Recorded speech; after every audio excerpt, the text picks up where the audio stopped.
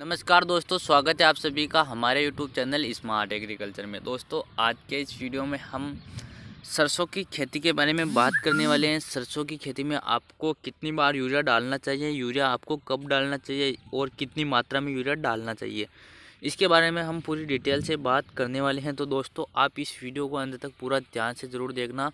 और उससे पहले, अगर अभी तक आपने स्मार्ट एग्रीकल्चर चैनल को सब्सक्राइब नहीं किया है तो जल्दी से आप हमारे चैनल को सब्सक्राइब कर दीजिए। दोस्तों, आपको जो ये वीडियो में पौधा दिखाई दे रहा है सरसों का तो ये ये इसको एक बार पिलाई इसकी की गई है, यानी कि बुआई के समय इसमें पानी भेजा गया था और उसके बाद अभी यह अब इसमें मतलब बिल्कुल भी नमी मौजूद नहीं है, इस खेत में तो अब इसकी मतलब दूसरी पिलाई भी होने वाली है। दूसरी पिलाई होने वाली है तो अब साथ ही ये सवाल आता है कि आपको यूरिया कब डालना चाहिए, दूसरी पिलाई में या फिर तीसरी पिलाई में? क्योंकि बहुत सारे किसान भाई दूसरी पिलाई में डालते हैं और बहुत सारे किसान भाई तीसरी पिलाई में सरसों में यूरिया डालते हैं और बहुत बहुत सारे किसान भाई ऐसे होते हैं जो थोड़ा थोड़ा यूरिया दूसरी में डाल देते हैं और थोड़ा सा यूरिया तीसरी में। तो दोस्तों, आज हम इसके बारे में बात करेंगे। तो दोस्तों, सबसे पहले महत्वपूर्ण विषय ये आता है कि अगर आप दूसरी पिलाई करते हो तो जब आपकी तीसरी पिलाई का समय आएगा, तब पौधा पौधा किस स्टेज पर रहेगा? तो दोस्तों, अगर आप दूसरी पिलाई करते हो तो फिर बहुत दिन निकलेंगे, तब तक आपके पौधे से क्या होगा कि यहाँ से डंठल निकल आएँगे और यहाँ पे फूल आने की स्टेज आ जाएगी। यानी कि दूसरी पिलाई अभी इस समय पे हो रही है तो तीसरी पिलाई में मतलब फूल आने की स्थिति आ जाएगी। तो अब बात करते हैं कि यूरिया कब डालें?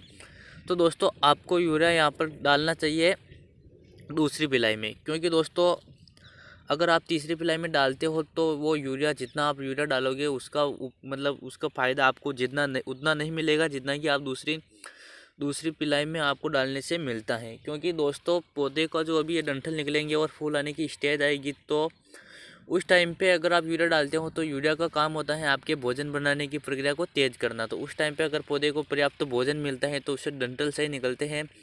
डंठल काफ़ी अच्छे निकलते हैं और फूलों के फूल भी ज़्यादा आते हैं। तो आपको क्या होता है कि निश्चित तौर पर आपकी पैदावार में बढ़ोतरी होती है और अगर आप दूसरी बार में यूरिया नहीं डालते हो और तीसरी बार में अगर आप यूरिया डालते हो तो आपकी पैदावार में निश्चित तौर पर घटोतरी होगी। और दोस्तों, अब बात करते हैं कि यूरिया कितनी बार डालना चाहिए। तो बहुत सारे किसान भाई दो बार यूरिया डाल देते हैं। तो मैं आपको रिकमेंड करूँगा कि आप दूसरी पिलाई में ही यूरिया डालें।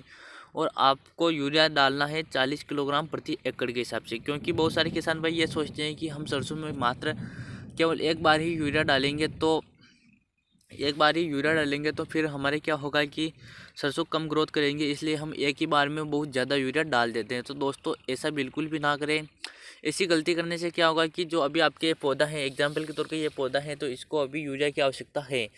तो ये जित, इसको जितनी आवश्यकता है, उतनी ही, उतना ही यह यूरिया का अवशोषण करेगा। बाकी यूरिया बहकर इसमें क्यारे में नीचे की साइड पे चला जाएगा, बहकर वो चला जाएगा और आपके पौधे को मतलब जितनी अवशोषण की आवश्यकता है, उतना ही अवशोषण यह करेगा।